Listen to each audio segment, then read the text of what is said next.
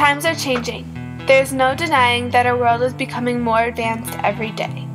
Change is inevitable.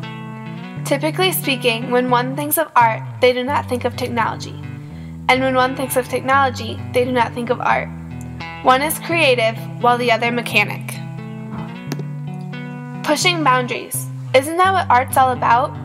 No one is fascinated with something they have seen or experienced before. That is simply not what captivates our minds.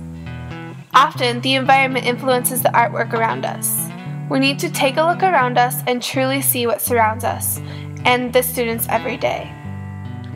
A predominant theme I've noticed in the past decade is the technology our students use daily. If our students' lives are so different than they were previously due to technology, why have our teaching habits stayed the same? It is time to collide the elementary world of art with the technological world of art to create digital art. We can do this by using programs on the computer to enhance or add to artwork. Often, the environment around us influences the artwork we create. A predominant theme I've noticed in the past decade is the technology our students use daily. Mixing art and technology not only will help individuals with their primary art skills, but will improve their computer education skills, which will be vital for the rest of their education.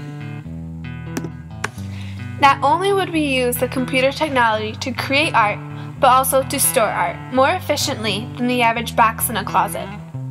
The children in our class could create an online portfolio to document their growth and store all their masterpieces. That way, as they grow as an artist, they will be able to see what they have created and be proud of the work they've done.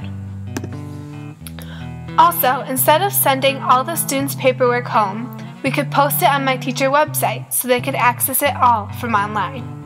Go green! The benefits are endless. It is crucial we expand the minds of our young and mold them to be successful in the advanced world they live in today.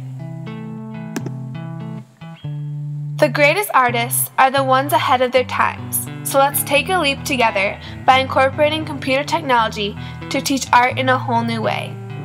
Art doesn't sit still, so neither should the way we teach art. So, fellow teachers, for our students' benefit, let's shake the dust off our minds and explore the relationship between art and technology together.